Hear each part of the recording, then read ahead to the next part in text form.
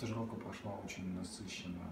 Э, Эти две недели были наполнены множеством мероприятий, э, знакомством с разными людьми, организациями. Э, Это одно дело, когда ты приезжаешь на одно какое-то конкретное мероприятие, там, будь то тренинг, форум, ты встречаешься только с определенными людьми. А здесь у нас все было в перемешку. Мы встречались с правозащитными организациями, с аналитичес- были на аналитической группе, группе Кипр, о которой только в интернете слышали.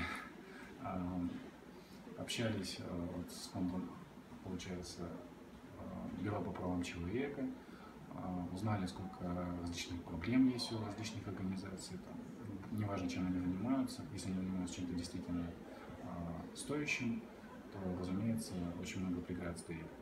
А, Мы поняли, что а, работа журналиста, допустим, очень тяжелая.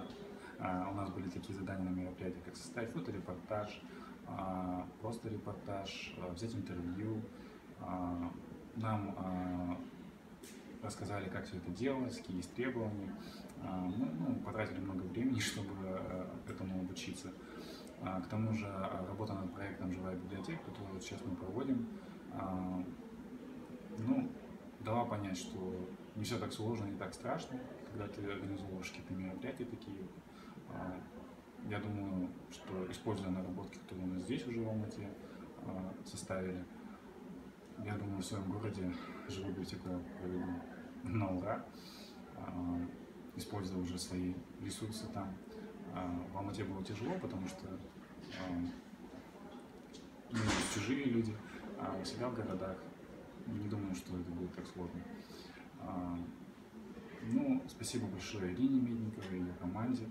А, Они поддерживали нас везде, а, корректировали, где мы делали что-то не так, обучали, водили, знакомили там по разным мероприятиям с разными организациями. У нас бывало даже, если что-то по плану не получалось, то мы сразу заменялись другим мероприятием. То есть э, просто так мы не сидели. Ну, это большой опыт, и я надеюсь, что я использую это на все сто процентов.